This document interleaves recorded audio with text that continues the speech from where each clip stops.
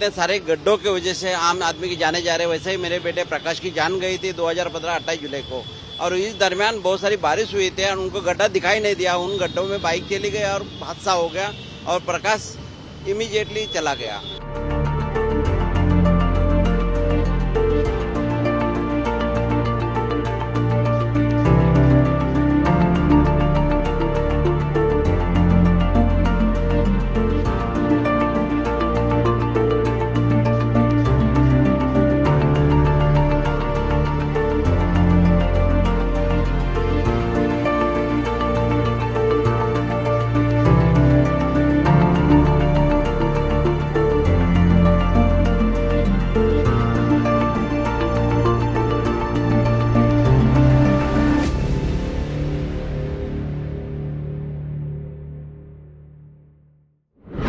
For more informative videos like this, keep watching India Today News Mo.